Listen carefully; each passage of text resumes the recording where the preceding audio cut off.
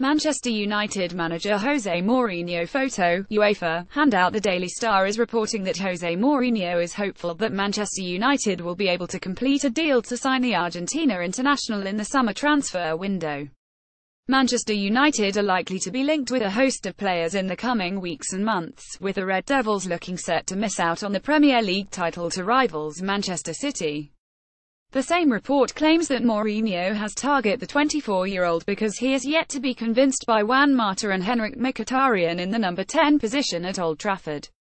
The story also says that Mourinho sees Dybala as the perfect fit for his Manchester United side. It remains to be seen whether Manchester United would be able to convince Juventus to sell Dybala, who joined the Serie A champions from Palermo back in 2015. Meanwhile, Manchester United are currently preparing for their home Premier League clash against Southampton on Saturday afternoon. The Red Devils look set to dramatically improve on their sixth-placed finish in the Premier League last season, even if they're to miss out on the title.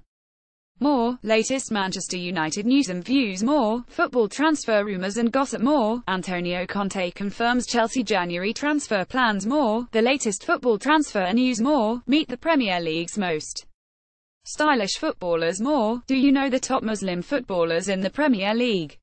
More, Man United latest news more, Arsenal latest news more, Chelsea latest news more, Liverpool latest news.